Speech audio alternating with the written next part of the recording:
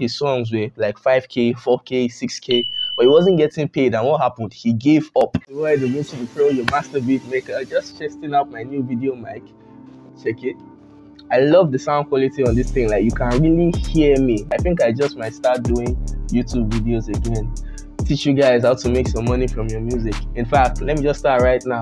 Step one, hit the link in my bio and sign up for DistroKid. DistroKid, you put your songs on Spotify, Apple Music, and all those major platforms that pay. That is how you get paid for all those streams you're getting from all platforms. If you are someone who is only releasing your music on SoundCloud, you have to understand SoundCloud doesn't pay you. I know someone who was doing very well on SoundCloud and he was getting 250 streams. All his songs were like 5k, 4k, 6k but he wasn't getting paid. And what happened? He gave up because music costs money. Beats, mixing and mastering, all the energy, writing the songs, pressure on your family.